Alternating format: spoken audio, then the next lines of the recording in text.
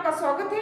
मैं प्रिया, आपके साथ। इंडिया गठबंधन के सहयोगियों के साथ सीट शेयरिंग पर चर्चा इस साल होने वाले पाँच राज्यों के विधानसभा चुनाव के बाद की जाए।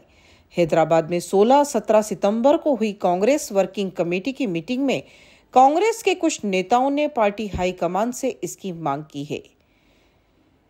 सूत्रों के हवाले से बताया गया कि ये मांग करने वाले ज़्यादातर नेता उन राज्यों से हैं जहाँ कांग्रेस का सीधा मुकाबला इंडिया गठबंधन की दूसरी पार्टियों से है।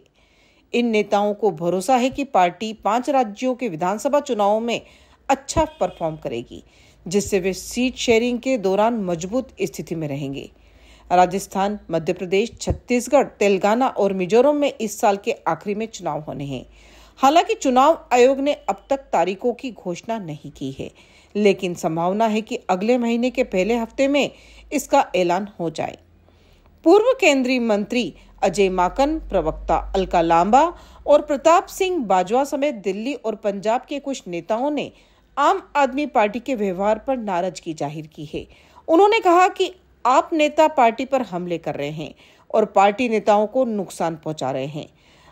अजय माकन ने कहा कि आम आदमी पार्टी उन राज्यों में चुनाव लड़ने की घोषणा कर रही है, जहाँ कांग्रेस सरकार बनाने की स्थिति में है। वहाँ आप कांग्रेस नेताओं पर हमले कर रही है। उन्होंने मांग की है कि ये बंद होना चाहिए। पंजाब कांग्रेस अध्यक्ष अमरिंदर सिंह राजा वाडिंग ने कहा कि वे पंजाब में आपके साथ गठबंधन करने के पक्ष में नहीं हैं, क्योंकि वहाँ उनके नेताओं पर निशाना साधा जा रहा है। पार्टी हाईकमान ने इस मामले पर अलग से चर्चा करने की बात कही है। कांग्रेस अध्यक्ष मल्लिका अर्जुन खड़गे ने आश्वासन दिया कि दूसरी पार्टियों के साथ सीट शेयरिंग पर चर्चा स्टेट यूनिट की सलाह पर ही की जाएगी। इसी के साथ बने रहिए एशिया न्यूज़ इंडिया के साथ। धन्यवाद।